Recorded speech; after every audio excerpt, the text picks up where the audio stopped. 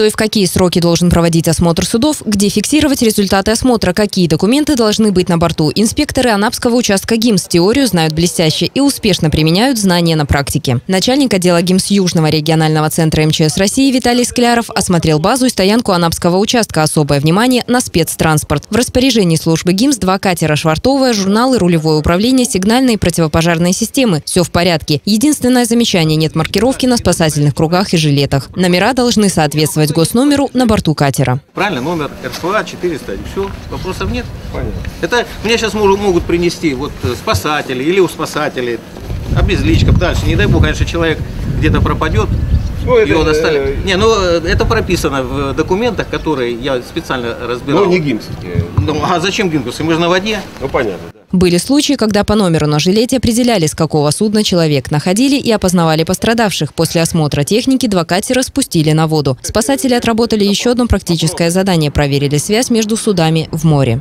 Штиль 1, штиль 2. Э, выдвигайтесь ближе сюда, чтобы видно было с берега, чем вы занимаетесь там. Стиль 2 понял, прием. Стиль 1 понял, прием. Согласно приказа министра МЧС России определено, что ежегодно перед началом купального сезона проводятся смотры плавсредств и экипажей, конкретно инспекторов.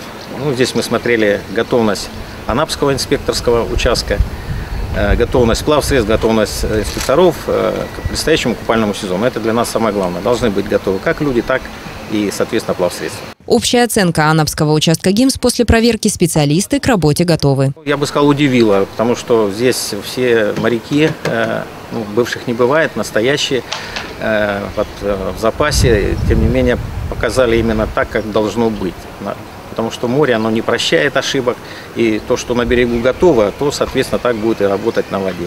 А безопасность людей, которые сюда приезжают отдыхать, я думаю, она никогда не лишней бывает. Такие же проверки пройдут во всех курортных городах Южного округа, а напчане свой экзамен уже сдали на отлично. Наталья Пухальская, Дмитрий Голодушевский, Игорь Куршаков. Анапа регион.